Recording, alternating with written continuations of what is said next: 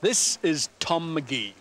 Now, Tom hasn't got the ideal physique for this uh, effort because he's not so massive as Dunn or Gamble, and those long arms will take an awful lot of punishment as he tries to lock them out. Come on, Tom. Hang it, Come hang on, it. hang it. Real Real good, Tom. Come on, Tom. Hold it in there. Real good, Tom. Up, Tom. Come on, All right, Tom. Tom. Come on, Tom. Come Take it up. Tom. You can do it. You gotta lock that Pick baby. it up. Pick it up, baby. You gotta pick it up. Real Tom. Real close. 44.7 seconds was the time set up by Big Bill Dunn, and it looks as if this big fella from Canada could beat that. He's struggling, fighting against the battery, and it's gone.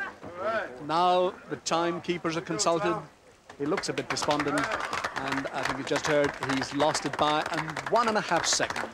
But here's a man designed for this event.